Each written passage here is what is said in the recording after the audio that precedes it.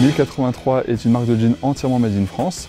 1083, c'est aussi la distance qui sépare les deux villes les plus éloignées de l'Hexagone, de Menton au sud-est à Port-Spoder, un petit village au nord de Brest. Et donc notre concept, c'est de relocaliser toutes les étapes de fabrication d'un jean dans ces 1083 km. La filature, la teinture, le tissage, la confection, tout est fait en France.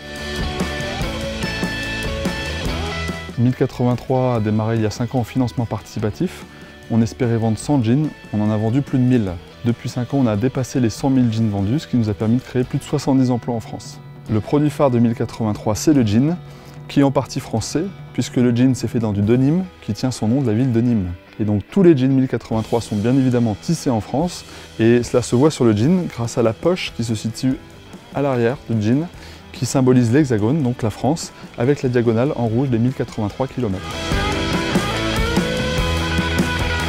Le problème de la fabrication de jeans, c'est qu'on ne maîtrise pas complètement la fabrication, puisqu'elle est mondialisée, et qu'en plus c'est une production qui est très polluante. L'innovation est au cœur de l'ADN de 1083, sur deux registres. Le premier, l'éco-conception, puisque tous les jeans 1083 sont en coton bio, et demain seront en coton recyclé, puisqu'on travaille au recyclage d'anciens jeans pour fabriquer de nouveaux jeans avec, pour s'inscrire dans l'économie circulaire.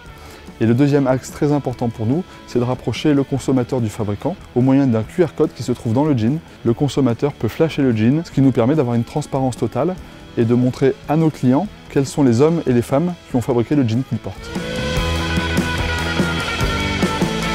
Au-delà des jeans, chez 1083, on fabrique des t-shirts, des vestes, des ceintures et bien sûr des chaussures puisqu'on est basé ici à Romans-sur-Isère qui est la capitale de la chaussure en France. Sur le plan commercial, notre démarrage était extraordinaire puisqu'on n'existait pas il y a 5 ans et qu'on s'est développé au point de dépasser 2 millions d'euros de chiffre d'affaires et de créer plus de 70 emplois en France. Mais là, on est dans une phase où vraiment on souhaite se développer à l'export, parler de nos convictions, de nos valeurs, d'éco-conception et promouvoir le style, la mode à la française à travers notre fabrication locale et nos denimes entièrement tissés en France.